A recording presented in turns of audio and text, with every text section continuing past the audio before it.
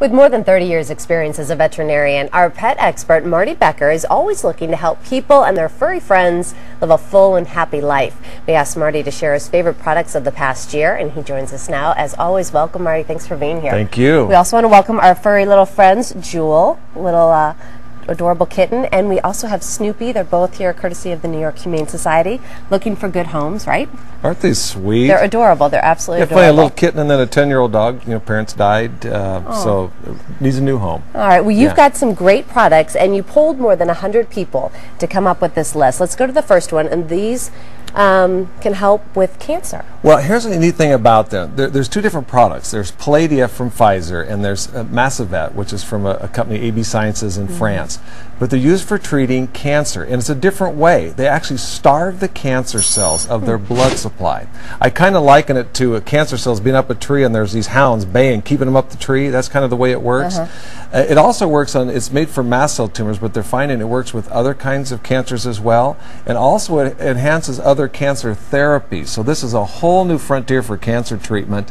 Uh, for example, Palladia is available for specialty hospitals now, but it'll be available to all veterinarians in the year 2010. So something on the very cutting edge. Big advancement. Yeah. The next one, if you've ever tried to give a pill to your dog or cat, you know how hard it is. And this next one is not new, but all, out of all the people you polled, the majority insisted you put it back on the list. Unbel- unbelievable that there, there's still the number one product that was recommended was Convenia, and Convenia is for convenience. We have a saying in veterinary medicine that life happens, but doses don't. So well-intentioned people leave with the medication, they're unable to give it, so the Right. medication ends up in the cupboard and not in the pet.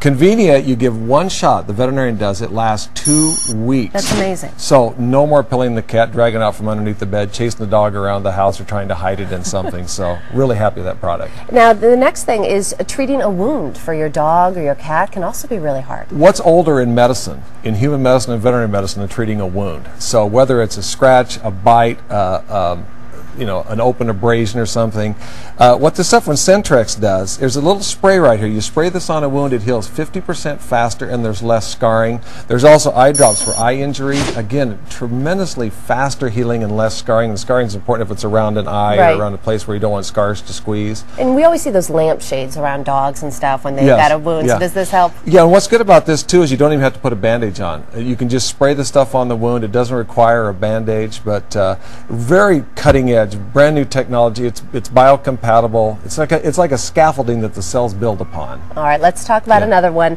which helps with feline AIDS. And how common is this? Now you think of feline AIDS. There's there's uh, there's feline immunodeficiency virus. (FIV). There's FELV, feline leukemia virus. This actually works for both of those. And so what happens in those? They both affect the immune system. So they increase the chance of getting cancer, other kinds of infection. Just like people with AIDS often die of other infections.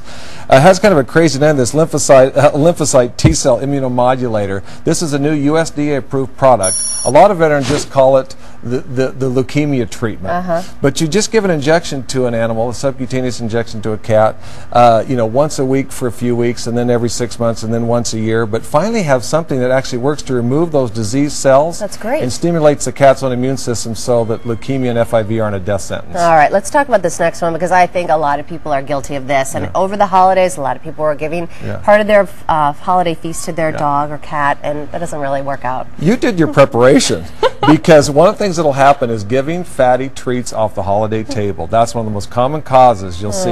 Either you'll end up on your hands cleaning up a mess or you'll end up in a veterinary emergency clinic. Also, dogs or cats that raid the litter box or litter box, the garbage can, and Right. get into something they shouldn't have. But this test from IDEXX is really good because pets will come in with vomiting, diarrhea, a, an ouchy abdomen, uh-huh. and you don't know whether it's pancreatitis, which is really serious, or something that's more benign.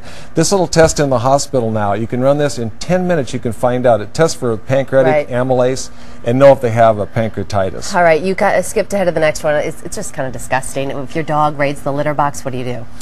Well, in veterinary medicine, we call that if they want to eat their own do, another doggy's do, or go to the litter box, we call that having a crapatizer. Ugh. yeah, And yeah. that gives a whole new meaning to doggy breath. But for a dog, it's actually undigested protein. Uh-huh. So that's the same reason I get a dirty diaper, garbage can contest. For us, it's just sickening, especially since we sleep with our pets. So but we the, use this. The CoproBan is actually in a roast beef flavor. Uh-huh. You just give it to your dog, and it puts something in the feces so it discourages them from eating that feces. Or you give it to the cat, then the dog wasn't going to leave the litter box, but they'll eat the thing right out of your hands. Okay. Let's move to the next one. I Yeah. want to get through all of them. This next one helps with like their mental health. It's for when you're feeding them dinner, oh, I love this like a, a puzzle. We have a pug at home, and this thing is like Einstein. And what this thing does, you put little treats inside of here, and so the dog has to spin this level right here.